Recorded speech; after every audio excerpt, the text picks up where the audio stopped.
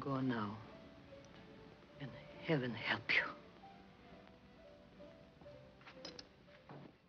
Have you ever felt controlled by your animal side? Do you ever lose to your worst urges? Does it ever feel as though you're losing grip on your very own humanity as time goes on? If so, then The Wolfman might be just the film for you. The film takes place in Wales, following Larry Talbot as he returns to his father's prestigious castle, expected to take on the role of caretaker following the passing of his brother. Having been in America for 18 years, Larry is unfamiliar with Wales and his father's town specifically, so he takes some time getting to know the locals. His first target of interest being a woman working at a nearby antique shop. He meets the woman, Gwen, who he quickly becomes fond of and tries to court pretty fast. You know, I haven't had my fortune told in years. How about tonight? No. Fine, I'll be here at 8. Eventually, they take a nighttime stroll together when they and a friend named Jenny go to the outskirts of town to have their fortunes told by the local gypsies. As Jenny's being told her future, Larry and Gwen take a walk into the woods, where he works his charm on her some more. But quickly, Larry learns of Gwen's engagement to another man, and shortly thereafter, hears the startling noises of a wolf. As he gets closer, he can see that the beast is mauling Jenny. Quickly, Larry rushes to kill the wolf with a cane bought from the antique store. He's able to bash its head in, but not before it manages to bite him. From here on out, Larry begins to experience strange symptoms. For one, his bite mark from the wolf heals the next morning, and for another, he experiences excessive hair growth on his feet and legs, a precursor to his full body transformation into a lycanthrope or werewolf. It's a technical expression for something very simple the good and evil in every man's soul. In this case, evil takes the shape of an animal. What the werewolf's disease represents in the film is tricky. On the one hand, it may be simply a metaphor for exterior evil, the possessive capabilities of dark forces beyond our flesh. As the local folktale describes lycanthropy, it is a possession which can pierce even the men who are purest of heart and the most faithful servants of God which implies that every case of lycanthropy turns out the same. Every infected man is fated to become a murderous beast. But then again, the disease could also represent the animal nature of man, his lizard brain, so to speak. Perhaps the werewolf's disease is not purely a transmittable condition, but rather it requires a kind of willingness from its target. Which begs the question, does the disease compel every single man to the same bloodthirsty impulses, no matter how pure of heart he is? Or can a man learn to control it? As Larry goes on to murder multiple innocent people as the werewolf of the night, one has to wonder, is there any way he can control this? Surely he must play some part in allowing this to go on. Larry may very well be corrupted or impure in his heart of hearts, a man susceptible to the worst of the lycanthropy only because of his own tainted soul. He does, after all, continually pursue Gwen, a woman already engaged to another man. Larry's lust is his most glaring character flaw, the only characteristic as consistent as his transformations into a werewolf. Notably, his initial infection occurs when walking Gwen through the woods and after learning of her engagement. When he later goes to kiss Gwen, they are interrupted by the commotion of the gypsies frantically packing up to escape what they hear is a local werewolf. Obviously, it's him. There's a clear relation between Larry's lust and his lycanthropy, which is only obviously portrayed at the very climax of the film when Larry, in werewolf form, goes to attack Gwen. The moment in which Larry's manly lust and his animal aggressions merge into one being in one instant, and there is no longer a pretension of a decent man separate from the beast.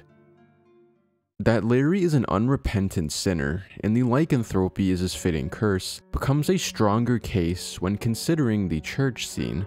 Once Larry has come to the conclusion that he is a monster, his father brings him along to a communal church service. But on his way there, he is nervous, unsociable, like somebody in the wrong body.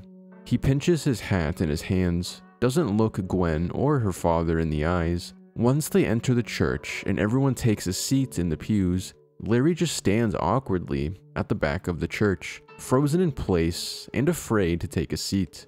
The whole gathering looks back at him, and he feels like an outsider. After the service begins, Larry jolts out of the church. Now, why does he do this? Despite his own personal concerns over his health, his mind, and his very soul, Larry nevertheless runs away from a potential cure, that cure being religion or God. It's notably odd that he does not even try to commune with a pastor or any man of faith. In a world where ancient superstition is real and lycanthropy manifests beyond mere delusion, then surely religion must have a legitimate real world effect too. It's not out of the question that Larry could find aid in this holy place, but Larry does not pray. He does not ask for God's help. When frightened by an otherworldly circumstance, he doesn't even think to ask for the aid of an otherworldly father. This is where I question how much Larry really tries to solve his problem. Despite his possession, from which he cannot free himself but simply copes with, Larry purposefully avoids a resource for help. On the one hand, Larry is guilty for his crimes and afraid to confront that guilt, but also he may feel unworthy of salvation. In being forced into evil action by his disease, Larry has begun to identify with the evil now within him. Despite being half man, half beast, Larry treats himself as a full beast, unworthy of even the love of God. And so long as this is how Larry views himself, then he'll surely never be rid of his curse. He will never know whether he can be saved if he never tries. Larry is not so powerless as he would seem. Maybe the lycanthropy wins during the night, but during the day, it does not have to. Larry, in treating himself as a beast, even while he is a man, chooses to identify with the evil. He lets it win. Rather than fight for the man who he is, he lets it go, runs away from religion, which might be his only shot at a cure. In this sense, there are two evils at play within Larry that evil which forces him into nocturnal murder, and the evil which prevents him from seeking salvation. Larry's evil, like any evil, is not just found in action, but in his inaction. Choosing to do nothing for his disease while he has the time and the wit is as deplorable as any murder he unwillingly commits. At this point in the film, Larry, having given up on a solution, decides he will run away from the castle and the town to try and get himself far from people. His father tells him to stop believing in children's stories, and in order to prove to his son that the werewolf myth is just that, and the infamous killer is merely a stray wolf, he ties Larry to a chair prior to the night's hunting party. As Larry's father joins the other men in their hunt, he hears a strange howling from a distance. Running to the noise, he finds a real-life werewolf attacking Gwen in the forest. In a climactic struggle, he manages to best the beast, but in the moments after its death, the monster shapeshifts back into a man, Larry himself. As the film ends, it seems that the audience is supposed to pity Larry, to feel great sympathy for his plight, which he could have done nothing to stop. But a different and perhaps more valuable read is that Larry lost to evil on purpose. When haunted by fear of what he'd become and met with a religious resource for help, he denied the entire possibility of divine aid. Maybe a true cure would have been out of the question, nobody can know for sure. But perhaps Larry could have prayed, could have searched his soul and gotten right with God. In the immensity of his guilt, Larry may have simply felt overwhelmed, so he apologized for nothing, neither for his murder nor his lust. But had he confessed and prayed on his crimes, it's possible that his lycanthropy could have been cured. Surely, if the beast in him can so influence the man, then the man must have some say over the beast. If pure of heart enough, he may have been able to tame his beastly side. It was worth a shot, anyways.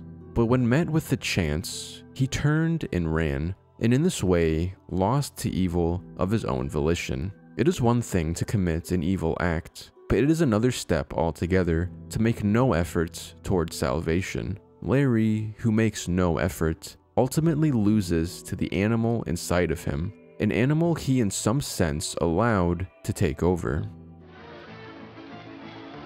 go ahead and shoot before he bites you.